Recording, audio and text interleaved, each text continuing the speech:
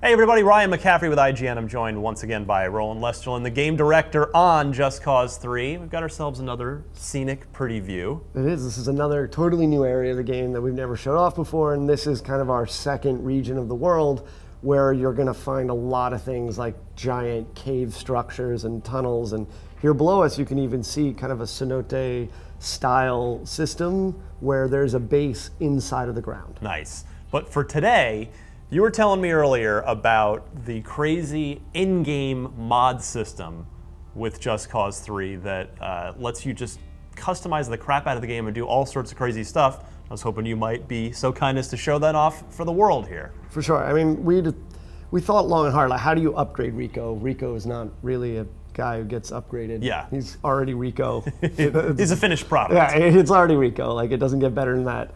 Uh, so we were like, well, how do we create more creativity for the player?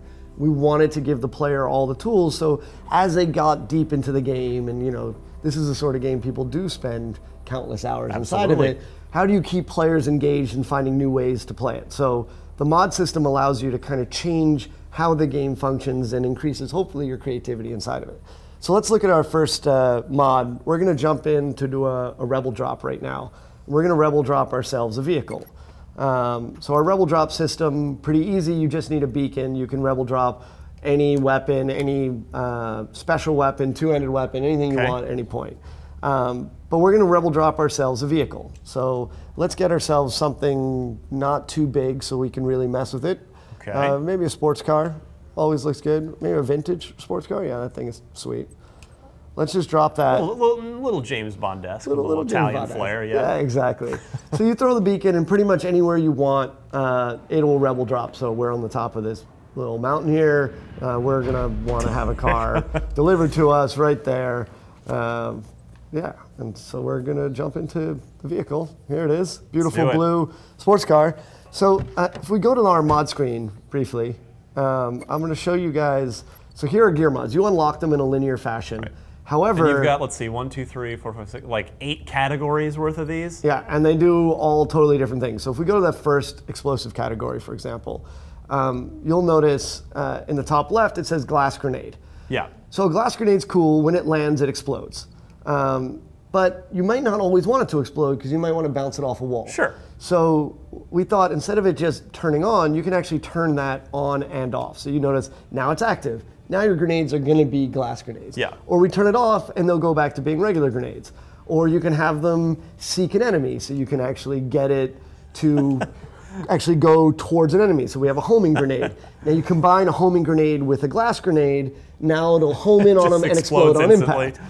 Um, or you can do a smart fuse and make sure it only explodes when it's near an enemy. Or if we go to our next explosive category, for example, um, here we have our planted explosive.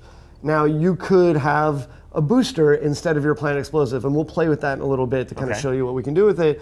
But you can also put it as a proximity mine, so you can like set up like a whole system of okay, there's a proximity there. If a civilian walks by it, it's fine. If an enemy walks by it, explosion. Bad things happen. Um, so let's go over to our vehicle, the ground vehicle that we just spawned in. Um, go, let's go back to the menu actually. Uh, over to the vehicle tab.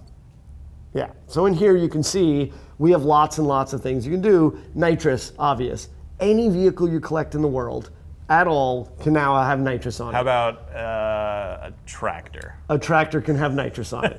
uh, a bus, nitrous. bus? Uh, pretty much anything you can think of. Now we have a sports car. It feels a little bit more normal to have nitrous. yeah.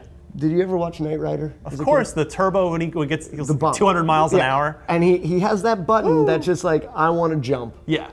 And that turbo jump button is hilarious, so that's in the game too. Nice. And so you just turn it on. So any vehicle now that you've rebel dropped will have these on. And so we can turn on even the highest turbo jump. So let's turn on even the bigger one because we're in a special build right now that allows us to turn on whatever we want right now. Uh, so we have everything unlocked. And let's jump back into the vehicle that we were in.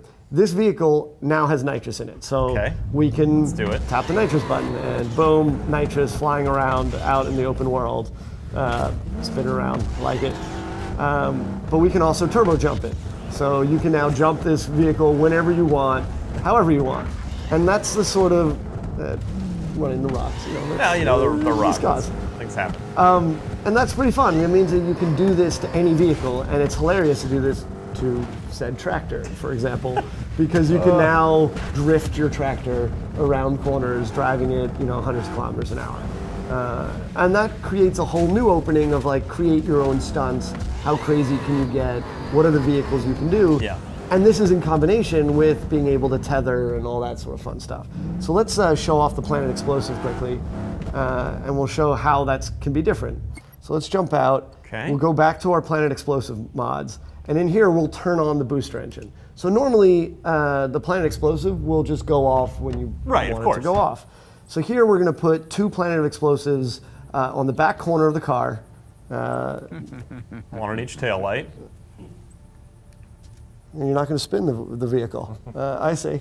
I think we can. Uh, we might still spin it. I like it. We're gonna spin. Put two on the side. There we go. Maybe three. Let's put three. Put three right there.